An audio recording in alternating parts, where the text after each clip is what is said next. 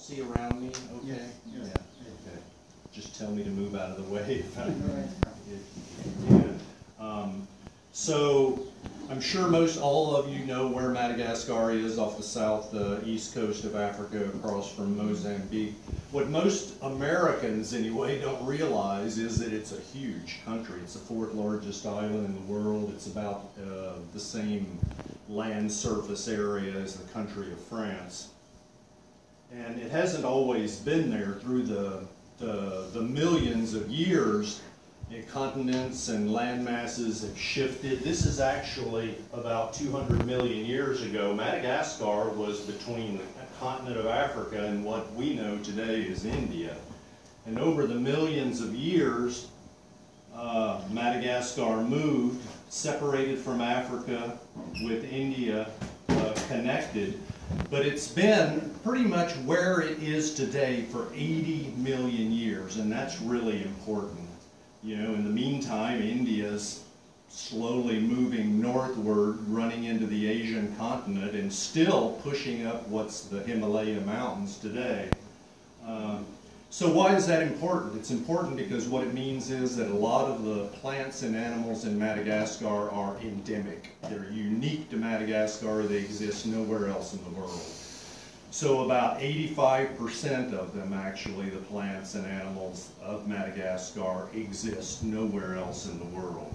And then you have different biomes within Madagascar. It's not the same across the whole island. You get everything from rainforest to, to spiny desert. So you get animals that are and plants that are different in every one of those biomes. And the rainforest on the east coast, three meters of rain a year, so lots of moisture. It's just pretty much jungle. The central plateau is made up of prairies and, and savanna. The west is deciduous dry forest. The leaves come off the trees during the dry season, and it's dominated by baobab trees. The spiny desert in the south is, is a, there are entire families of plants that are endemic. It looks like another planet. And then there are other areas. This is a Isalo National Park in the in the southern central highlands, where you find these really unique uh, Bismarckia savannas and uh, many endemic species here as well.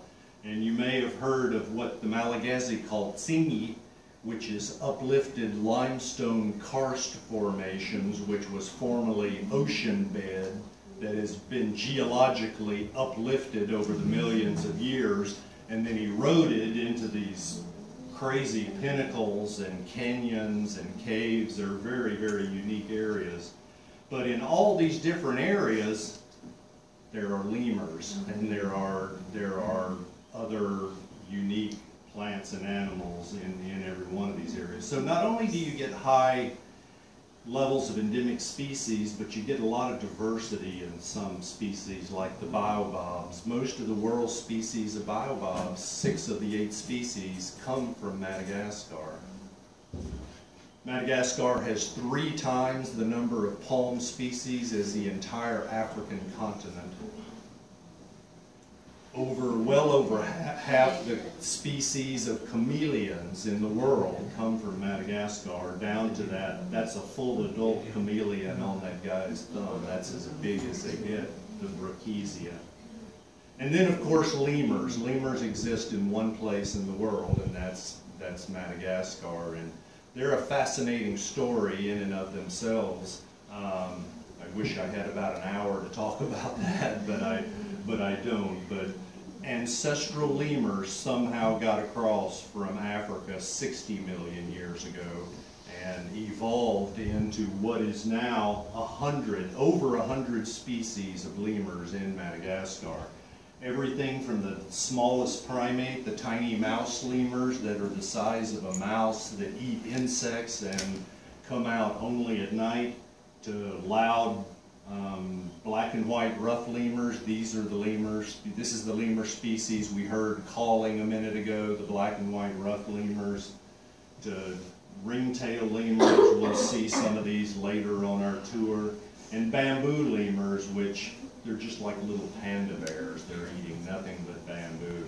And I need bed. As, as the population grows, there are now 25 million people in, uh, Madagascar. And uh, so these people have a very large to humans as well. I mentioned the predators and, and lemurs are eaten as bushmeat and uh, sold in, in cities as well.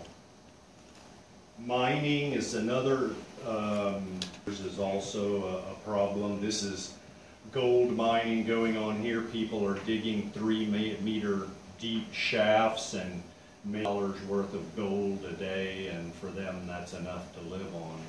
17 species of lemurs that we know about that have gone extinct, and some pretty unique species. If you look at this image on the right, that's a gorilla, female gorilla skull next to an extinct, a fossil, fossilized egg of an Aepyornis or elephant bird. This was the largest bird that, that ever lived. It was about over three meters in height. And the egg holds the same, about the same volume as 10 or 12 ostrich eggs to give you an idea of how large this bird was went extinct probably only three, maybe 300 years ago after humans arrived on the island. So that's a little bit of the background. And so what